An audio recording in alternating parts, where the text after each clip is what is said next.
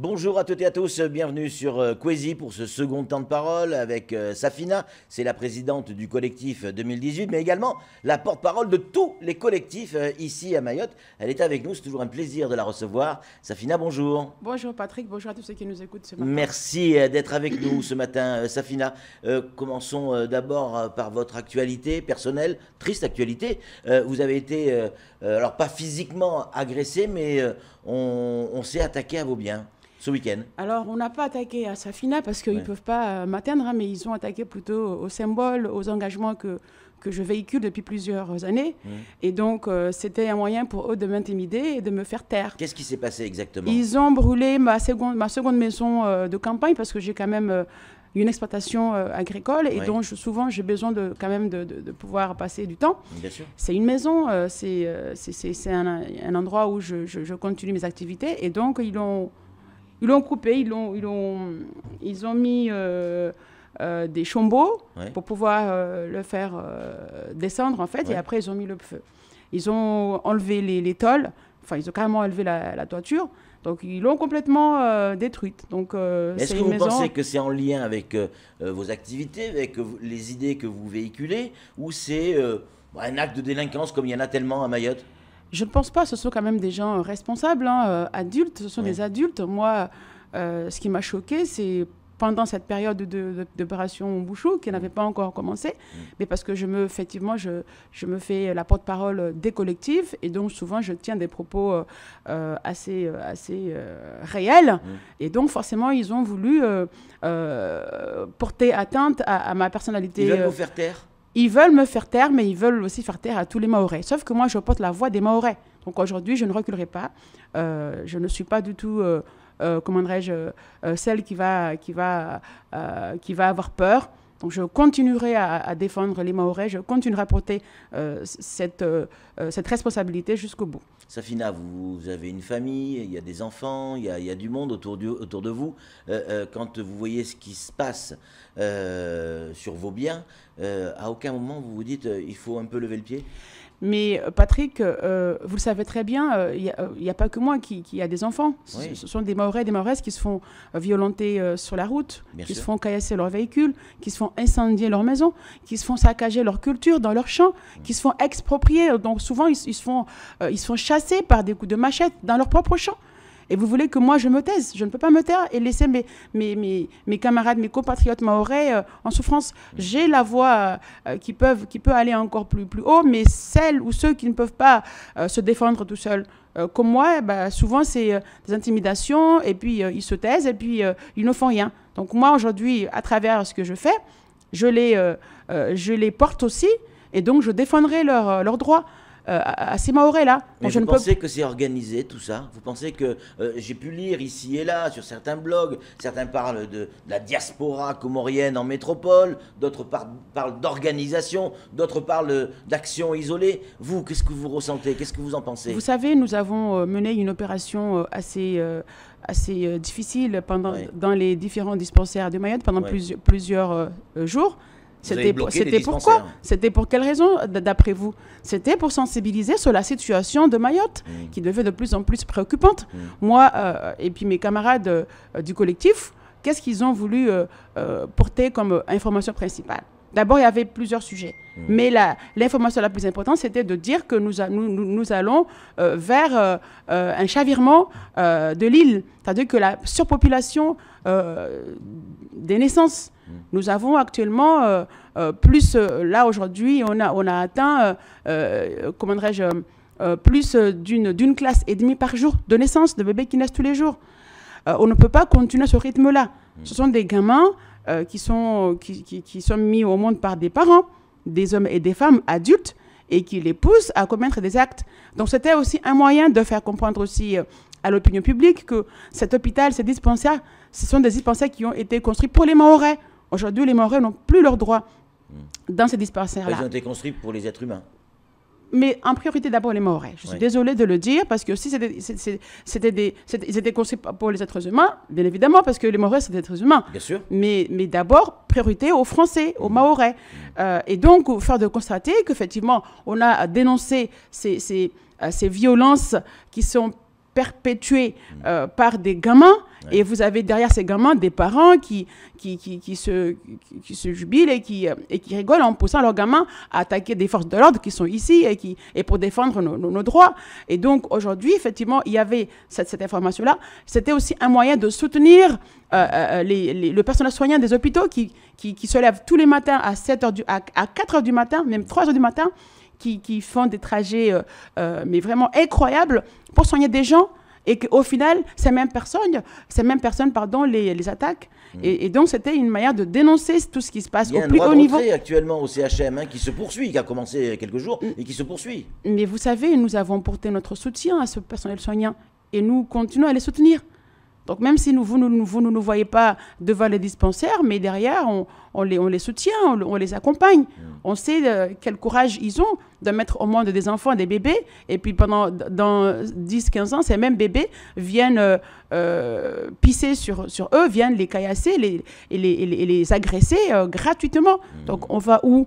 Moi, le bus, quand, quand, il, a, il a été caillassé, c'est un, un acte euh, barbare que, que, je dénonce, que tous les Maorais dénoncent. Mmh. Donc vous voyez encore une fois que les Maorais ont raison de, de bloquer, de bloquer euh, tout ce qui euh, fait appel d'air. Mmh. Ces gens, effectivement, nous, on n'a rien contre eux. Nous voulons tout simplement qu'ils se, qu se rebellent contre leurs dirigeants dans leur pays d'origine mais qui ne viennent pas euh, s'attaquer à nos dirigeants ici en les menaçant ou même en menaçant ceux ou celles comme moi qui, défendons euh, euh, la, la, population mahoraise. Safina, ça y est, c'est parti, semble-t-il, cette fois-ci pour de bon, l'opération Wombushu. les reconduits à la frontière ont repris.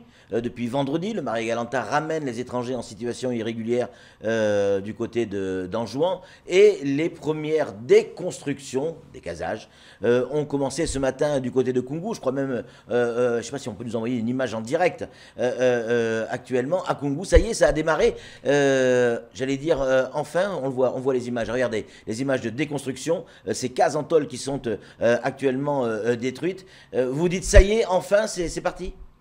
Je vais employer un, un, vocabulaire que M. le maire a utilisé tout à l'heure oui. en, en, parlant de débidonvillisés. Oui. Et, et, ça, c'est un nouveau mot qui, va peut-être être utilisé dans les prochains jours. Mmh. Moi, je, ce que je, je voulais euh, dire ce matin, c'est d'abord une, une, reprise euh, des, des, des, relations euh, entre Mayotte et, et, et l'île comorienne d'Anjouan, mmh. Euh, et qu'il y ait effectivement euh, euh, ces liaisons qui, qui puissent rester dans une dans une diplomatie euh, respectueuse, mais ouais. aussi ferme. Ouais. Parce que nous, de, de, de, ce côté de Mayotte, euh, nous, avons, nous travaillons avec l'État, avec notre pays, avec euh, la diplomatie française. Bien sûr, bien sûr. Et donc, forcément, nous avons constaté effectivement qu'il y a eu une manipulation de la part de, des, des, dirigeants de l'autre côté. Donc, dans en, en appelant au blocage, en, en faisant des communications mensongères. Et, et, donc, nous, de notre côté, on, on, se réjouit que les relations, euh, les liaisons maritimes ont repris entre Mayotte et Anjouan.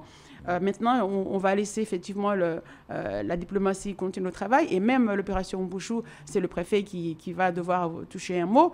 Moi, je ne rentre pas euh, dans l'opération en tant qu'opération, mais je, je, veux plutôt défendre les, les miens. Mmh. Et, et, et, puis, ce que je voulais dire surtout, c'est que nous, les collectifs, nous faisons un travail remarquable sur le terrain. C'est très important que, que les autorités l'entendent. Euh, nous, vous savez, il y a une colère euh, très importante, euh, légitime, qui envahisse nos villages parce que vous avez les, populations sont fatiguées, ils en ont marre, ils veulent absolument faire des décasages. Nous sommes en train de leur faire comprendre que non, il faut euh, laisser l'État faire, il faut laisser les autorités faire ce travail-là. Ce n'est pas à vous, ce n'est pas à moi de le faire. Donc, mais en même temps, je ne peux pas, on ne peut pas contenir cette colère jusqu'à quand? Jusqu'à mmh. quel, à quel stade? Parce que rien que avant-hier, vous avez ce que vous avez eu, ce qui s'est passé à, à Oui. Et donc, euh, le collectif fait un travail remarquable aussi de communication. Euh, nous avons effectivement euh, réussi à, à faire, comment dirais-je, un travail de lobbying. Donc, euh, c'est un moyen de pouvoir faire des propositions euh, euh, à nos élus, parce que l'élu, il est sur le terrain au niveau national, mais l'élu, je parle bien des, des parlementaires. Donc, ce sont des, des élites maorais qui vont devoir changer la situation en tant qu'intellectuel. Donc il y a mmh. beaucoup de, choses qui vont, qui vont changer. et donc nous voulons absolument faire comprendre aux Maorais que tous ceux qui veulent contribuer à ce travail-là, qui va se mettre en place, sont les bienvenus. Les Maorais ne doivent pas attendre qu'on les appelle individuellement, mais ils peuvent se rapprocher des, des, collectifs. parce qu'il y a, y a, y a des, hum, un travail de communication qui se met en place. Il y a aussi une veille juridique donc euh, qui va ça s'organise bien oui, qui hein. va aboutir à, des actes mm. euh, qu'on va devoir effectivement euh, mm. travailler avec avec les élus. il y a aussi le foncier mm. qu'il va falloir récupérer. Donc tant bien que mal, nous savons très bien que ce foncier-là, c'est un dossier qu'on pas qu'on va qu'on va jamais lâcher, notamment sur les 150 150 hectares de terrain départemental qui ont été récupérés par des clandestins. Euh, c'était des propositions, comme je l'ai dit, d'actes euh, euh, qui vont, des propositions d'actes qui vont être justement orientées auprès des élus. Donc ceux qui, qui, sont, qui sont volontaires, parce que nous savons qu'il y a des élus qui, qui, veulent, qui vont travailler, qui travaillent déjà sur le terrain, notamment en fermant certains marchés illégaux sur les routes. Et, nous demandons à ces élus-là de, de continuer le travail, mais aussi euh, de, ne pas avoir peur de s'exprimer, comme euh, se, fait euh, avec le maire de, de Mamoudzou, qui, qui n'hésite pas à s'exprimer. Donc c'est un travail de longue haleine, c'est un travail qui va changer beaucoup de comportements en profondeur dans notre société mahoraise, parce qu'on ne peut pas laisser l'opération Mbouchou se poursuivre de l'autre côté et puis attendre, croiser les bras que, que le préfet fasse et que les collectifs, non. Les collectifs travaillent sur le terrain, mais les Mahorais, et nous, on en appelle aussi aux Mahoraises et aux Mahorais de prendre leurs responsabilités. En, en, communication, en discussion avec, euh, euh avec les, euh, les autorités euh, sur les opérations qui, qui se mènent sur place, qui se déroulent sur place. Est-ce que, parce qu'on a entendu dire que ça commençait à bouger un peu dans le sud, attention, il y a certains Mahorais où la colère monte, pour, on ne voudrait pas revoir ce qu'on a vu par le passé. On laisse les autorités faire. vous, vous, vous, êtes en en, communication constante avec les autorités? Alors, c'est ça notre mot d'ordre. C'est effectivement de, Nous, avons, nous, nous avons le droit de demander aux gens de partir. Oui. Ça, c'est pas un délit, ce n'est pas un crime hein, de dire aux gens, euh, là aujourd'hui, on est arrivé à un point où... Euh, on, de quitter, de, sortir de mon terrain, voilà. en fait, hein. Donc les gens sont libres de leur dire mm. quasiment, euh, vous Mais avez... pas de les sortir non, pas de les pousser, pas de d'attaquer leur, leur, leur, leur, maison, mais de leur faire comprendre que là maintenant, il faut partir. Voilà. Les Maoris n'acceptent plus qu'il y ait des, euh, des bidonvilles euh, dans, sur, nos, sur, nos, terrains. Mm. Et donc ça, c'est des, des, des, des, situations euh, gérables jusqu'à aujourd'hui. Mais l'inquiétude était quand, si, quand l'opération n'avait pas commencé. Mm. Maintenant, on sait que l'opération a commencé, donc ça va faciliter ces, ces travaux-là parce que les Maoris ne peuvent pas non plus laisser les gens continuer à, à, occuper leur terrain, leur maison en pensant que l'opération Mouchou va tout régler. Mmh. Nous sommes conscients. Mmh. Donc ce travail-là, il va dans ce sens-là, mmh. en, alertant et puis en, incitant aux, gens de quitter, de partir, parce que les Maoris ne peuvent plus euh, accepter euh, ces genres de, de, situations. Safina, euh, on va pas se mentir, on est tous de Mayotte, surtout vous. on sait aussi que certains Maoris, pas tous, loin de là, et très loin de là, mais certains Maoris sont aussi responsables de, de cette forme d'immigration qui consiste à louer euh, des, des, terrains, des maisons, pas forcément des bangas, euh, pas des, forcément des, constructions en tôle. Euh, là aussi, vous avez une action contre ces gens qui ne respectent pas la règle?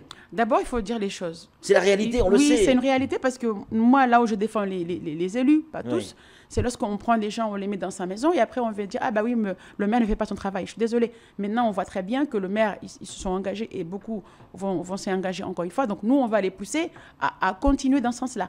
Mais néanmoins, les Maorais aussi, ils sont responsables. Donc, le travail euh, de marchand de sommeil que nous avons mis en place avec euh, euh, le préfet, avec le procureur, va payer. Ça veut dire que là, bientôt, très prochainement, euh, il y aura des sanctions qui vont tomber.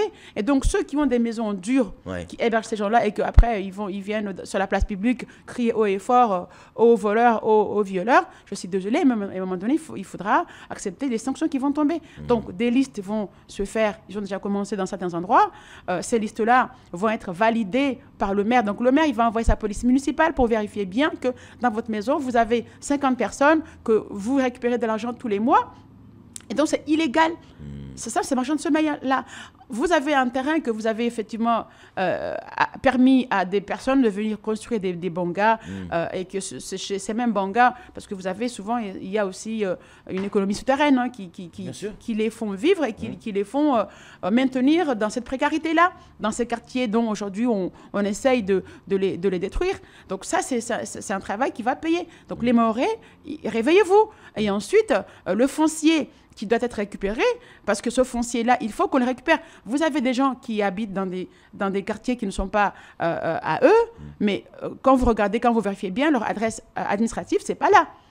Ils sont bien hébergés chez, chez Patrick, dans, votre maison mm. en dur, ou chez Safina. Mm. Donc, à un moment donné, les démolitions vont, vont continuer, et ceux qui, qui vont devoir partir, on va pouvoir, on va vérifier bien l'adresse d'accueil sur leur pièce d'identité, et donc, hop, on va les envoyer dans les, les familles d'accueil euh, eh euh, juridiques, donc euh, qui puissent les accueillir dans des maisons. Puisqu'ils ont déjà, ils les ont déjà accueillis officiellement. Le préfet n'a plus le droit d'accepter des titres de séjour sur des, des, des documents euh, euh, attaquables que nous pouvons attaquer. Hmm. Parce que quand on fait une attestation d'hébergement et que le maire n'est même pas au courant et que le maire n'a même pas validé, n'a même pas vérifié que vous y habitez hmm. bien et que le, préfet euh, vous, vous, délivre un papier. de ça sans contrôle. Et ça, hmm. c'est dangereux. Donc c'est pour cela que nous, nous avons continué ce travail-là de collaboration avec la préfecture, avec les élus, mais aussi avec la population. Donc, dans un premier temps,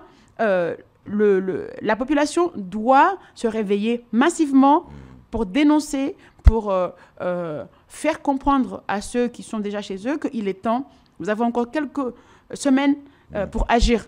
Euh, sinon, ça sera trop tard. Et après, vous viendrez encore pleurer pour dire Ah, bah oui, mais moi j'ai un tel qui m'a. Non, on ne pourra pas gérer toute la population, toute la, la situation. On va finir cette minute qui nous reste ensemble. On va demander à la régie de nous mettre en direct euh, euh, la démolition du côté de, de Kungu. hop là, on a perdu l'image. on sait qu'il y a 162 cases qui vont être démolies ce matin. il y a 86 familles qui ont été euh, enquêté et euh, il y a 40 familles qui sont euh, relogées avant même l'opération. là encore, ça a mis du temps pour démarrer, mais tout est dans les règles. Et c'est important aussi ça. Oui, c'est très important Patrick, mais moi ce que j'aimerais dénoncer ce matin, c'est aussi... vous avez des collectifs anti-Ombouchou qui ne vivent même pas à Mayotte, mais qui se trouvent à l'extérieur de Mayotte. ce sont des, eh des Comoriens avec des nationalités françaises. Euh, et donc, c'est malheureux de le dire, mais euh, nous commençons à en avoir marre de ces comportements euh, irresponsables où ils vont attaquer, ils vont se permettre d'attaquer nos élus. Hmm. ils vont porter plainte contre eux parce que tout simplement, ils ont tenu des propos sur les ondes. on l'a vu, là, j'avais passé, il y a une plainte pour crime contre l'humanité, je crois. Je n'ai pas voulu prononcer bah, plainte contre crime, mais maintenant que la plainte est déposée. Voilà. Maintenant que la, la, plainte elle est, déposée, moi, ce que je veux dire par là, c'est de demander effectivement aux élus euh, de, de, porter plainte contre ces personnes. Hmm. Parce que je pense qu'ils se sont trompés de cible. Hein. Hmm. Ils doivent attaquer leurs propres dirigeants, hmm. qui sont euh, des, des, personnes, euh, moi je le dis, hein, des, corrompus. ce sont des, assassins parce que ce sont des gens qui non seulement laissent leur population, poussent la population à aller mourir dans le lagon de Mayotte depuis plusieurs années et, ils poussent aussi la population à venir ici et, à commettre des crimes. Hmm. Et ils, refusent d'éduquer leur population à cause des écoles, ils refusent de soigner leur population chez eux, hmm. et ils refusent d'admettre que leur population euh, euh, sont en souffrance chez eux, alors qu'ils ont reçu plusieurs millions euh, d'aides d'aide européenne, d'aide française, d'aide des Nations Unies. Et c'est non avenu et malvenu hmm. qu'ils viennent nous donner des leçons de démocratie. Donc, ils doivent absolument s'attaquer à leurs dirigeants avant même de venir se mêler de ce qui se passe à Mayotte, parce que le territoire de Mayotte, de, Mayotte a des élus. Donc ce sont des élus qui, se battent pour leurs ressortissants, qui se battent pour leur propre population. Donc ils doivent faire pareil pour, chez eux. Regardez ces dernières images, parce que c'est l'heure de, de, se quitter, les dernières images euh, de euh, l'opération de démolition du côté de, euh, de Kungu. on voit bien ces tractopelles démolir, il y en a deux, ou trois hein, qui démolissent 162 cases. C'est pas rien, c'est pas rien cette opération, c'est la première grosse opération, celle qui a été dénoncée et en justice et dans les médias, par certains médias, etc. Ben, aujourd'hui, voilà, force est de constater qu'elle a lieu, ça a réellement démarré. Rapidement, en conclusion, oui, faut qu'on Oui, ma, ma, réaction par rapport à ce qui se passe, c'est de dire à la communauté comorienne que le, le n'est pas ennemi. Hmm. Nous ne sommes pas des ennemis. Donc, euh, mais à un moment donné, il faut aussi euh, se, ne pas se voiler la face et, et, regarder la réalité en face. Mm. Merci euh, beaucoup, Safina, d'être venue sur ce plateau avec nous. On va se retrouver très vite. Mon petit doigt me dit qu'on va se retrouver très vite parce que l'actualité Wombushu ne se cantonne pas pardon, uniquement à Kungu. On a entendu le maire de Mamoudzou tout à l'heure qui nous expliquait que d'autres opérations auront lieu également sur la ville de, sur la commune de Mamoudzou parce que, évidemment, tout passe par Mamoudzou hein, à un moment donné ou à un autre. il n'a pas voulu rentrer dans les détails euh, sur euh, les lieux ni les endroits, mais euh, on sait que beaucoup de quartiers de Mamoudzou seront également touchés par l'opération Wambushu. Merci beaucoup Safina, c'est tout pour ce temps de parole. Tout de suite la suite de nos programmes. Merci.